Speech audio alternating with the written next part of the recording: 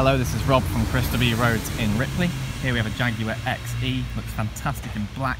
Uh, the alloys contrast with the black paintwork really well. Have a quick look at the interior. Uh, we've got some really uh, stylish and comfortable upholstery. We've got some great features to get onto a bit later on in the video. If I just take a seat in the back, being a saloon car, I'd expect plenty of room and you wouldn't be disappointed. Tons of knee room, loads of headroom up above. Uh, the seat in front is in my driving position and I'm about five foot 10. So it's good to know that you can fit adults in the back in plenty of comfort. Now if we just come around to the boot, we'll have a look at the space situation in there.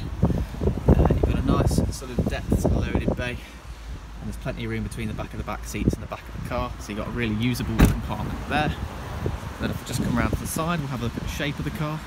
It's a very stylish looking saloon, simplistic in its design, but got some great lines and curves going on. And then if we just come around to the front, you'll see it looks great from that angle too. So now let's have a quick look at the interior. Okay, so I've got some audio volume controls just here. We've got the cruise control just over here.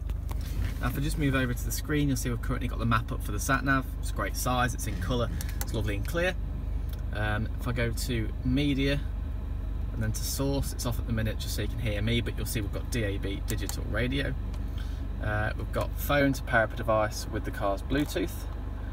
We've got the navigation just down here as I just showed you and then got the uh, climate control some of the climate controls just there. And from there I can access the heated front seats. We have three different settings for those. If I pop the car into reverse um, you'll see we get a rear parking aid which appears on screen which just makes life easier in the car park. Down here we have the full controls for the dual zone um, climate so both sides can be adjusted independently.